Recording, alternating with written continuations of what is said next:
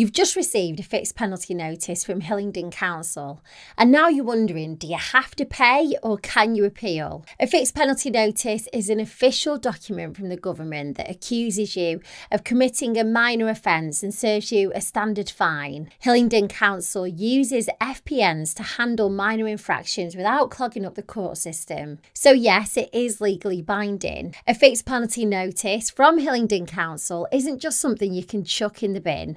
Ignoring it could get you in trouble and it can escalate quite quickly because they are enforceable by law. It might even result in a CCJ, that's a county court judgment against you, impacting your credit score for the next six years. What types of offences could get you one of these dreaded FPNs? Driving offences are the usual culprits. These include parking in a permit only spot, using a bus lane for parking, driving over the speed limit, failing to display a disabled sticker when parking in a designated spot, or jumping a red light? The burning question is do you have to pay? Well, the answer is most likely yes, unless you're planning to challenge it. Small discrepancies in the notice's wording or dates are generally not good enough reasons to have the FPN voided. So if you've got one and there's no legitimate dispute that you committed the offence, then pay up and fast.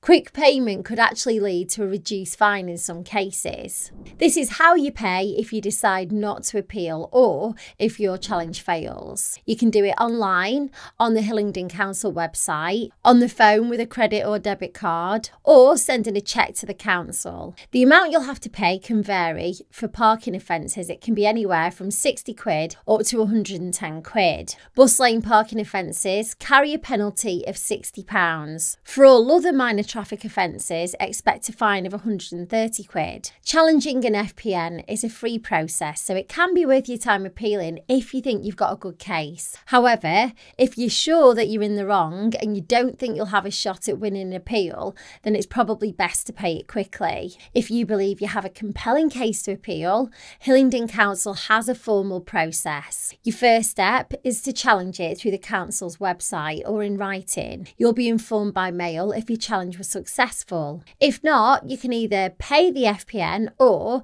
escalate the dispute to the formal stage, which will require for you to engage a solicitor. Only go down this route if you're confident that you can win in court. If you're a bit unsure whether to appeal or you don't know whether to escalate your FPN, then you may want to speak to a professional. You could use online solicitors. They're called Just Answer and they've got a £5 trial to ask all the questions that you need to about your Hillingdon FPN. I'll leave a link below the video for you and if you use it, you'll be supporting Thrifty Family, so thank you.